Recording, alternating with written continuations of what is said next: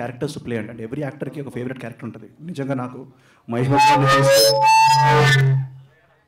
నాకు మహేష్ బాబు గారిని చూస్తే పోకరి సినిమాలో మహేష్ బాబు నాకు చాలా ఇష్టం. అలాగే మా పవర్ స్టార్ పవన్ కళ్యాణ్ గారు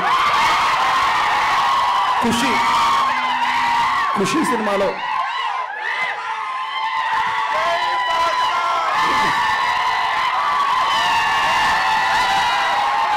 ఓకే.